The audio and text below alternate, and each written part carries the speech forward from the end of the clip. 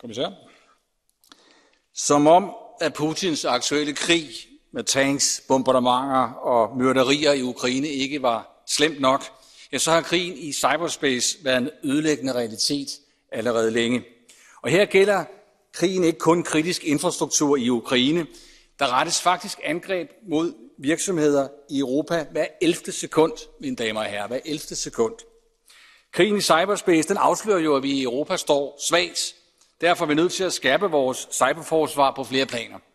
Først og fremmest skal vi opdatere EU's regler for cybersikkerhed, så vi styrker virksomhedernes og myndighedernes forsvar. Det sker lige nu i den såkaldte NIS 2-lov, som flere kolleger har omtalt. Jeg har selv været med til at forhandle den, og nu kører trilogforhandlingerne på fuld tryk mellem Rådet, Kommissionen og Europaparlamentet, og vi har der visse forventninger til resultatet, kommissær.